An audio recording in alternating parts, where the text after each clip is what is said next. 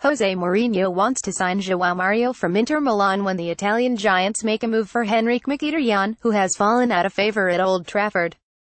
The Manchester United midfielder has failed to match expectations since his arrival from Borussia Dortmund last summer and Mourinho has finally lost his patience with Mkhitaryan following a number of unconvincing performances this season.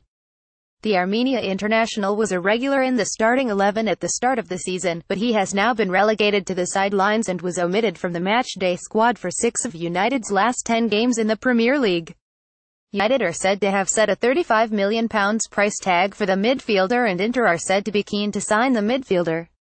According to The Sun, the Portuguese manager wants João Mario to move to Old Trafford once Mkhitaryan joins the Serie A Giants. Mourinho is said to view the Portugal international as a long-term replacement for Michael Carrick, who is likely to be allowed to leave at the end of the current campaign. Mario is valued at £40 million by the Italian club, but their interest in Mkhitaryan could allow United to reach a compromise.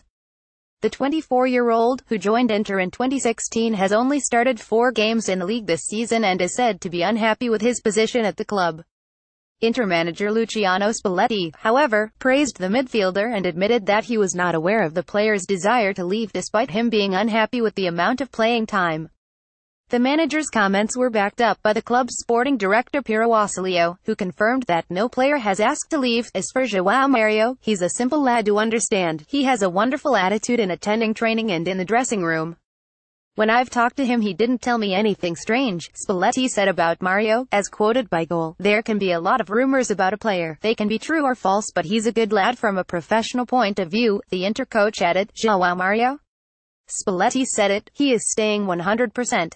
Cancelo? It's the same thing, no one asked us to leave. The manager's comments were backed up by Inter sporting director Ausilio, as quoted by Italian publication Calciomercato.